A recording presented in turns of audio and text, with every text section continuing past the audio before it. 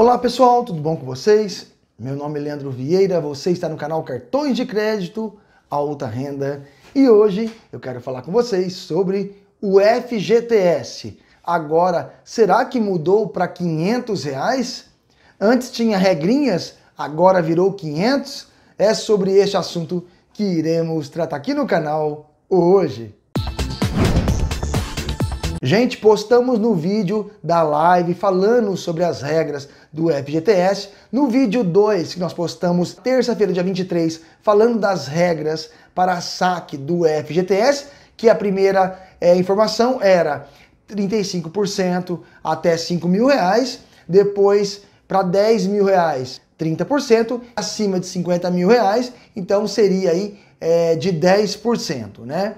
Portanto, esta foi a informação que teve, segundo a mídia, a divulgação aí em massa, né, em todas as redes sociais, dando esta nota, tá ok? Depois, o ministro da Economia deu uma segunda nota na terça-feira, dia 23, e em várias redes sociais, também dando notas do que acontecer nesta quarta-feira, dia 24 de julho. Então a nota 2 né, referente ao saque do FGTS.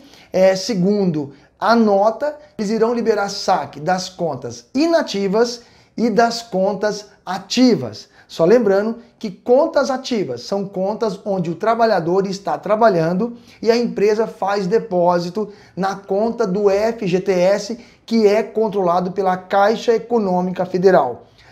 As contas inativas são aquelas onde o trabalhador pediu a demissão ou foi dispensado por justa causa. Neste caso, as contas se tornam inativas.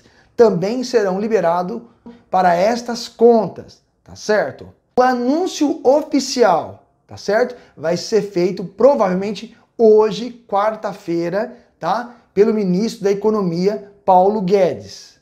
Diferente do que aconteceu com Michel Temer, o ex-presidente, né? Que liberou o FGTS das contas inativas, né? O ministro Paulo Guedes, agora nesta quarta-feira, deve anunciar aí novas informações de como será a liberação do FGTS. Então, aquelas regrinhas que eu fiz no vídeo 1, que liberaria, é, então, 35, 30 e 10%, pode ser que haja mudanças hoje, tá? Então vocês estão vendo o vídeo agora, daqui a pouquinho pode ser que aconteça mudanças na regra de saque do FGTS. Segundo a nota dada pelo Paulo Guedes, eles vão liberar aí 42 bilhões do fundo de garantia, sendo que o valor liberado será de 30 bilhões em 2019 e 12 bilhões em 2020. Tá certo? Perguntaram se o limite de saque seria de 500 reais para Paulo Guedes, ele não respondeu. Portanto,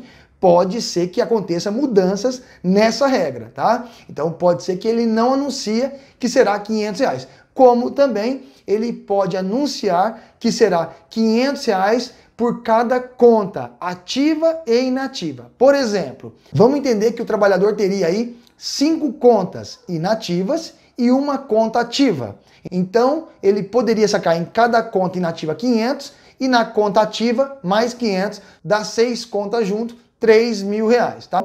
E daquele trabalhador que só tem a conta ativa e não tem nenhuma inativa, então ele poderia sacar apenas 500 reais. Porém, essa informação é, que eu acabei de falar foi o G1 que noticiou, tá certo? Gente, o que ocorre é que é, o FGTS existem regras para fazer o saque tá? E o governo fez um anúncio, deu algumas informações e a população ficou aí motivadas para fazer o saque e poder fazer os pagamentos, investimentos, como eu falei no vídeo 1, tá? Agora, se reduzir para 500 reais, é, o valor aí, mesmo que dá um impacto violento na economia, a grande maioria das pessoas não querem sacar apenas 500 reais. Eles querem sacar muito mais que 500 reais para poder pagar uma dívida, poder fazer uma compra de alguns produtos que estão necessitados, né? Então, é, só temos que aguardar agora, nesta quarta-feira, o anúncio oficial,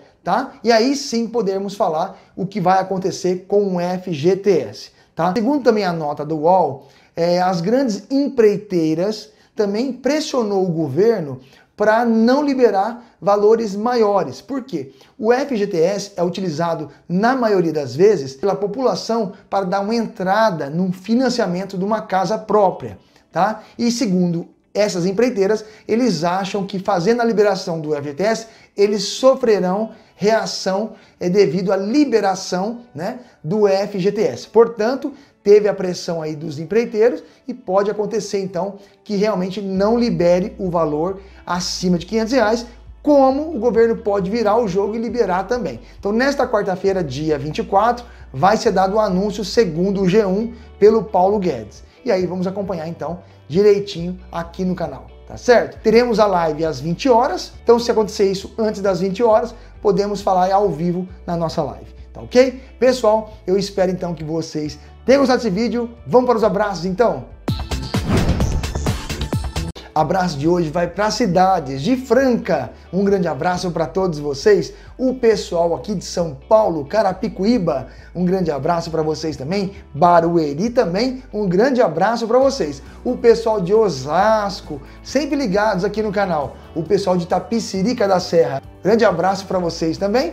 Vamos agora para Goiânia. Um grande abraço para todos vocês, meus amigos. O pessoal de Brasília, também ligados aqui no canal. Pessoal, eu espero que vocês tenham gostado desse vídeo. Até o próximo. Fique com Deus.